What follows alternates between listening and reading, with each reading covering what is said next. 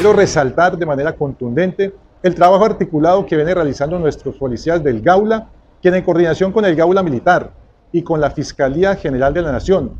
permiten materializar una orden de captura en contra de alias Kobe, cabecilla del grupo de delincuencia común organizada Renacer 2.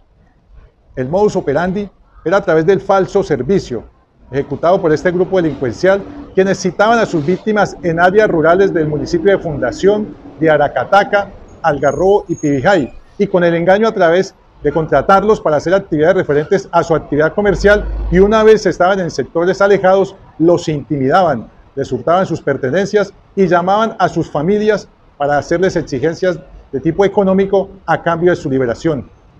Esta importante captura se materializa luego de 10 meses de labores investigativas y de inteligencia realizadas por el Gaula de la Policía y el Gaula Militar, lo cual permitió la captura de esta persona en el barrio Bonda del municipio de Pibijay. De acuerdo con las investigaciones, Alejandro Mesa, alias Kobe, sería el encargado de realizar secuestros, extorsiones a comerciantes residentes de diferentes gremios del país.